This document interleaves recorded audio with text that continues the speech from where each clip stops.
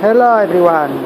Just um, um, trying to show you the way I weld uh, the half pipe and uh, try to twist myself uh, around it.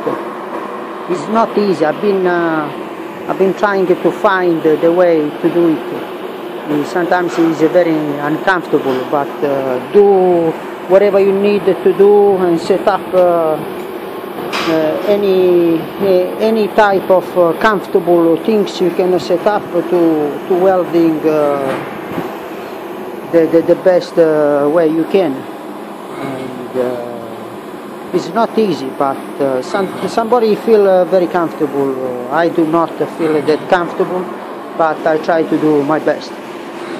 Right. Thanks for watching. Bye